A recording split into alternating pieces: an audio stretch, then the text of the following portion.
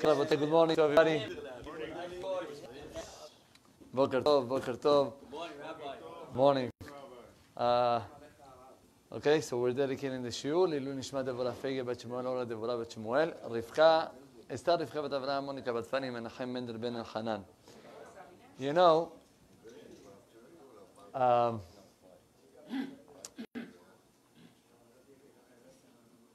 we're starting now Parashat Bo. And Parashat Bo is the last parasha that is concluding the last, the last plagues that we had in the whole entire uh, uh, Mitzrayim, basically. And there is something fantastic that the Torah is giving a lot of, a lot of uh, uh, importance to these three makot. The Torah writes the following pasuk. Listen up.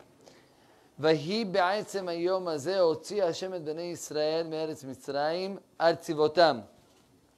From, from here say Chachamim that there is an obligation for every single Jew to mention Yetziat Mitzrayim every single day. Right? למען תזכור את יום צאתך מארץ מצרים כל ימי חייך. ימי חייך הימים, כל ימי חייך הלילות.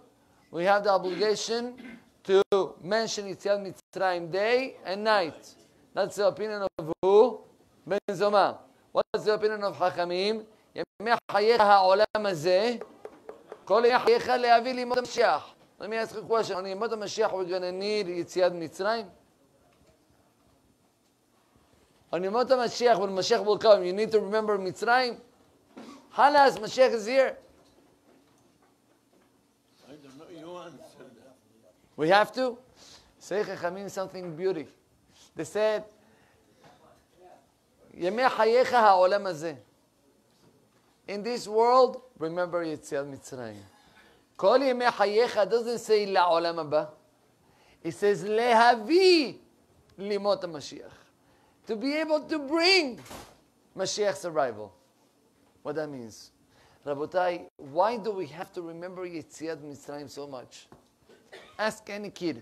Can you tell me the 10 plagues? He's going to tell you, sure, Rabbi, I learned it already uh, from uh, when I was in kindergarten. I know the 10 plagues. Why is it so important to know Yetziat Mitzrayim? I mean, obviously, everything is important. But every single thing that we do, we mention Yetziat Mitzrayim. Right? Kiddush, tonight, Zecher Yetziat Mitzrayim. Tefillin that you just heard, Zecher Yetziat Mitzrayim. Tzitzit that, you, that you're kissing every day, Yetziat Mitzrayim. Everything is Yetziat Mitzrayim. And the answer is, Lehavi limot Mashiach. The key, the main key to bring Mashiach is only Yetziat Mitzrayim. Why? Because what is Yetziat Mitzrayim? Says the Ramban, famous Ramban. מתוך הניסים הגדולים והגלויים, throughout the huge and great and unbelievable miracles that God does, a person will get to the understanding that Borei Olam does with us huge miracles in a daily basis. The natural and the small miracles, what we call, those are not small. Those are mamash miracles. The one that is able to learn from Yetziat Mitzrayim, not just to mention. We're not doing anything by mentioning. Zecher Yetziat Mitzrayim is not lehagid Yetziat Mitzrayim, is zecher, lizkor, to remember. What do we have to remember? We have to remember Emunah, the Bore Olam, is the only one and only that guides the whole world and is on top of the world, and every single thing that moves cannot move without the willing of Bore Olam. And that's Lehavili Limot Mashiach. You want Mashiach to come? You must have this, this type of Emunah. But I want to tell you something. The Hatam Sofer brought a mashal Mashal, an example. He said that there was a professional guy. He used to he used to make all type of uh, of uh, salim. How do you say pesel in English? Pesel, it's a huh? Pesel, pesel. Idols, yeah, but not idols of Avodah Zarah, like more of uh, monuments, right? He was doing. And they told him, if you don't mind, to make a beautiful monument for the main street of the city, sculpture. Right? Sculpture for for the main street of the city, uh, uh, of the city, something nice. Says, no problem. He worked in it good, good months. And he finished and he made an unbelievable horse. Good. The, pro- the problem was the horse was like standing in, on two legs and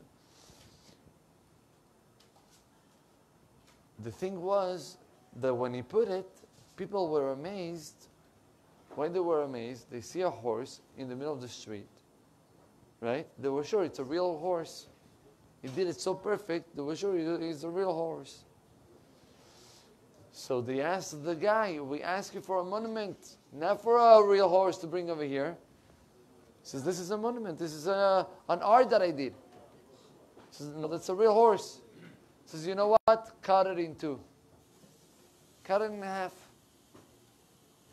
They cut it in half, and then everybody was coming and seeing the unbelievable monument. Why?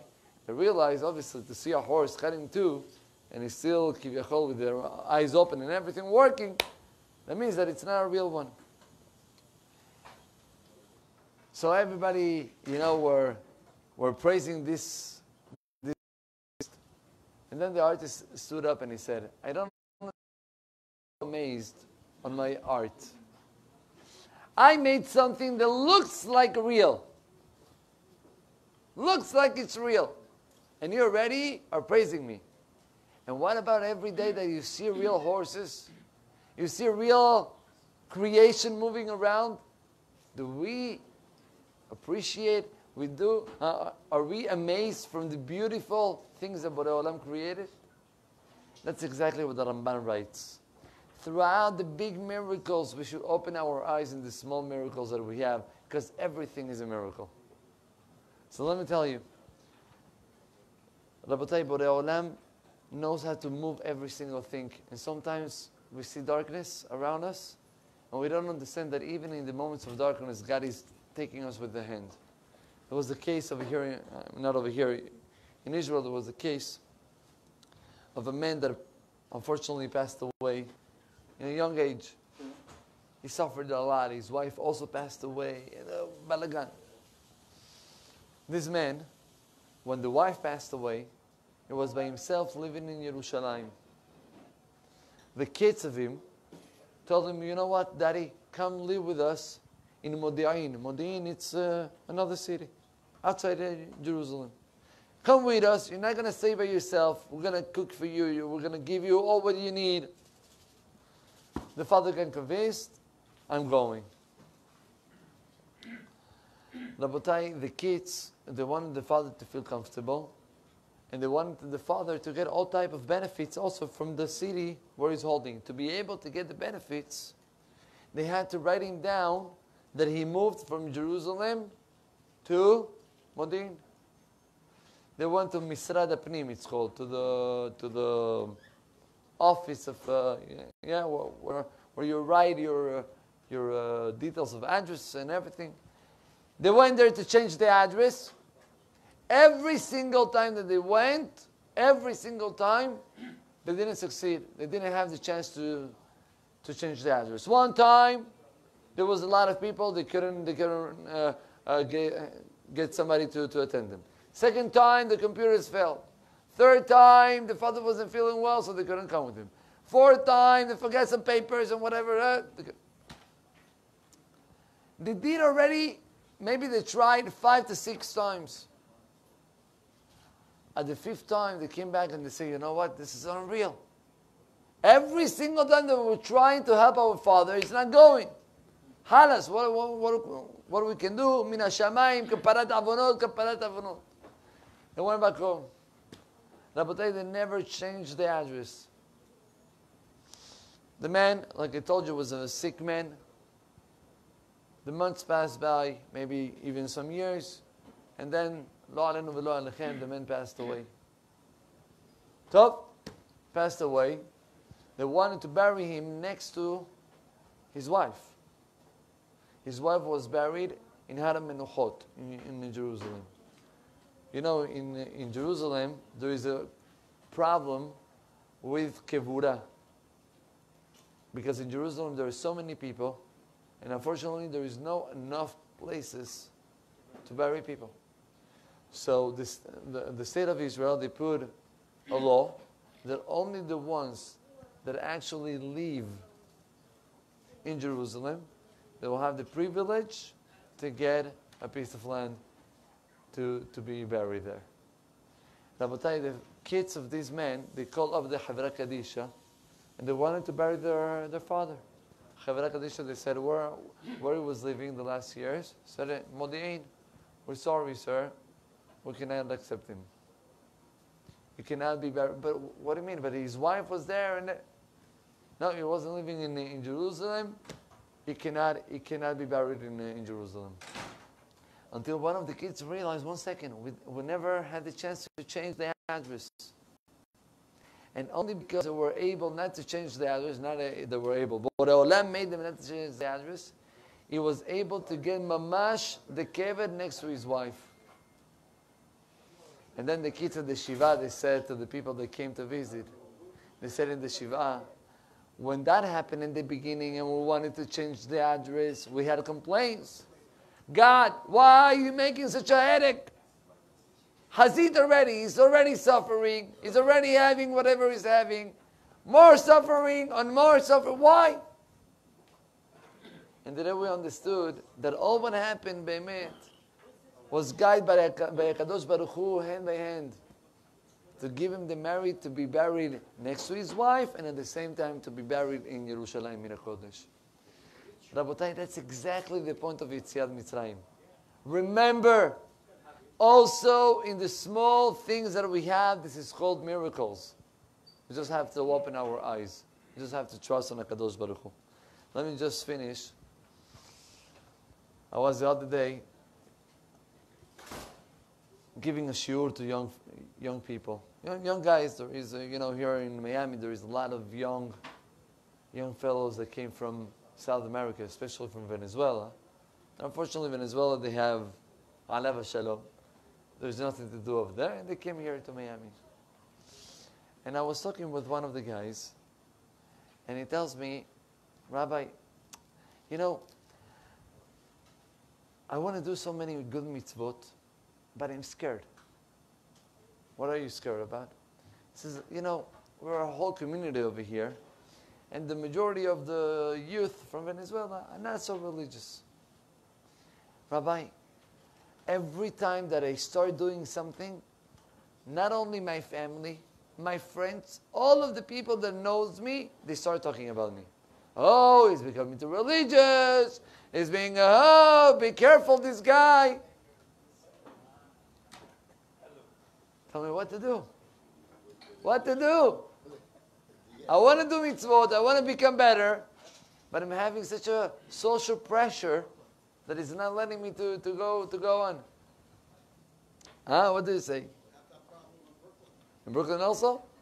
Nah, you cannot compare. Brooklyn, Baruch Hashem, it's uh, Gan Eden. Ah, we're talking about, uh, I'm telling you, real, real issues. So Behemet, it's a very delicate point. Behemet, it's hard. Someone that has such a pressure, it's not easy. It's not easy. I tell him, listen. Rule number one, don't jump steps. Don't try to jump. If you're going to do something, you must do it, but you have to be secure that you're going to do one thing at a time. That's number one. And number two, I want to ask a question. And then I told him like this I told him, tell me something. What if you have a friend, right? Let's say you are 20 years old and you have a friend from your grade comes one day to all, to all of your friends and he's saying, Guys, I'm getting married. And they're going to look at him 20 years old getting married? You Majnoon? You get crazy. I'm responsible, you're a kid. You did it good. Don't worry, me too. not, not at 20, a little bit older, but uh, 20 is too young. I said, that's it. I decided with my girlfriend, we're getting married, engagement. I asked him for how long the friends of this guy are going to speak about this wedding. For how long? They're going to be in the wedding. Before the wedding, they're going to speak, oh, the news. And then what? And then halas. Everybody's going to go back to. I said, do you think that you're so important that everybody's going to talk about you all their life? Huh? You're going to an action, everybody's going to say, oh, listen, this guy becoming, and halas. It's over. Everything in this world, how, how David Melech writes, Yemenu uh, ketzel over. Our life, it's like a shadow that is that passed by. Says the Gemara, not ketzel, not like a shadow of a person that passed, like a shadow of a bird. When the bird flies on top of you. That's our lives. Our life runs, moves on, have no stop. Hatov ve'echol, hatov ve'eshteh, says the Gemara. Because it's running, grab. Grab food, grab drinks. We're not talking about real food and real drinks. We're talking about Torah and mitzvot. Grab whatever you can. Because our life, it's like a wedding hall. What's a wedding hall, says the Gemara? Why it's, our life is like a wedding hall? Do you know how many issues there is in life? The answer is a wedding hall. You have such a big wedding. Everybody was getting prepared for months. And then for how long is gonna is gonna be the wedding? A few hours. And then after the wedding, come back to the hall. What are you gonna realize? Everything is dark. Some bones on the floor. Some stuff to throw out. Our life is the same. At the beginning, wow, big stuff. And then you realize everything moves on. Rabotai, let's take advantage. Every single day we have an opportunity. Praise up Kadosh Baruch Hu and grab whatever you can grab. And for sure, those mitzvot are going to send to each one of us the Haya Olam. Amen Omer Atzad